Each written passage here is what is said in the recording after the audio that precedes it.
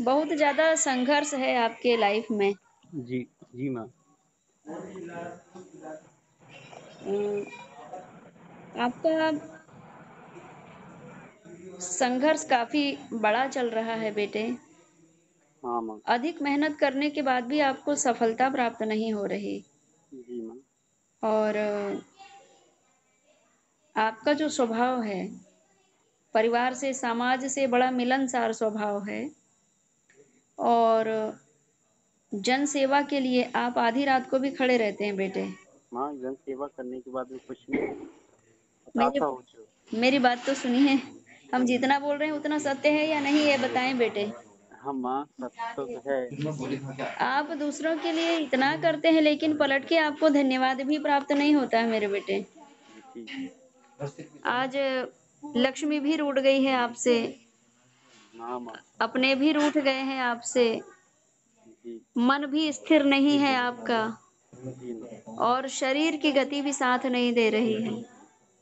सभी तरफ़ से निराशा के भाव आपको प्राप्त हो रहे हैं।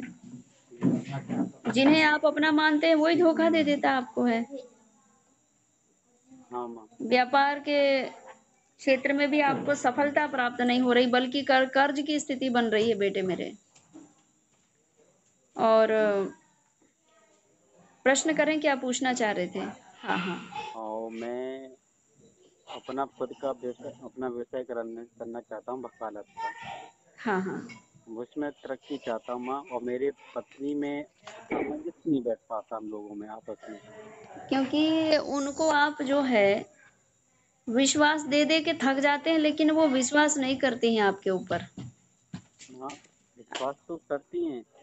ज़्यादा नहीं करती वो। हाँ, हाँ, क्योंकि वो उनका मन स्थिर नहीं है, स्वास्थ्य भी उनका थोड़ा-सा शीत संबंधी प्रॉब्लम्स रहती है उनको।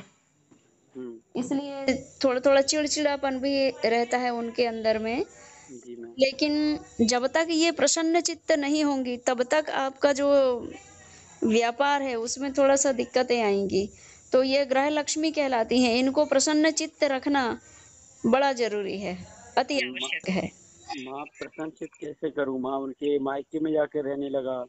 उसके बाद दो साल के बाद मैं इधर आ गया। एक 1 साल मेरे को अपनी माँ के पास आ गया। वो मेरी माँ को नहीं देखना चाहती। क्या है वो जो आपकी धर्म पत्नी है ना, ये मतलब लक्ष्मी और धन ग्रह लक्ष्मी और धन लक्ष्मी ये दोनों रूठ रही हैं मेरे बेटे आपसे।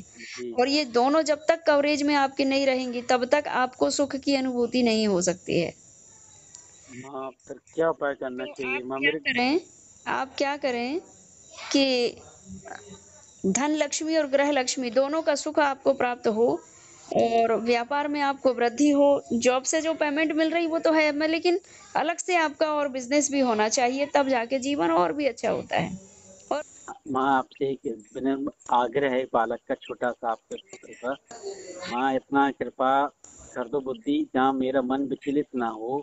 अपने परिवार में जुड़ा लग लगा रहूँ और मेरे से जो अन्य तीसरा व्यक्ति मुझसे मिलना चाहता है, मेरे परिवार को डिस्टर्ब करना चाह रहा है, उनको थोड़ा शांत करें बस। तीसरा व्यक्ति भगवती की कृपा से संभव होगा, स्वयं भी कर्म करो सब ठीक होगा। एक बार समय निकाल के माता के चरणों में समर्पित हो गए और सारी प्रार्थना रख दें, मैया सब ये कष्ट मेरे दूर करो, सुख प्रदान करो तो फिर सब संभव होगा। ठीक है बेटे? जो मंदिर मिला उसका सेवा कर रहा हूँ, करूँ उसे कि नहीं करूँ? कौन से देवी-देवता का मंदिर है? माँ शीतला का है और हाँ, उसमें हाँ। थोड़ी क्या शीतला और? शीतला माता मेरी की मेरी बुआ सास को सवारी आती थी उन पर। हुँ, हुँ। हाँ, तो उन्हीं के उन्हीं का मंदिर था, उनकी सेवा करा था, उनके बाद मुझे दे गई वो। अच्छा। अच्छा। मैं नवरात्रि में दो साल तीन साल से जुड़ा हूँ उस मंदिर से ये सब तो माता पार्वती जी है बेटा, हृदय में शीतल तक आवास होता है तो हाँ, शीतला माता हृदय में शीतल बन करके और हमारी रक्षा करती हैं।